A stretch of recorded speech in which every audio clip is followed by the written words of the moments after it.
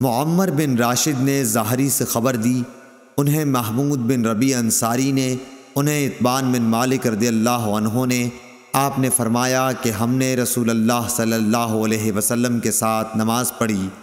پھر جب آپ نے سلام پھیرا تو ہم نے بھی پھیرا۔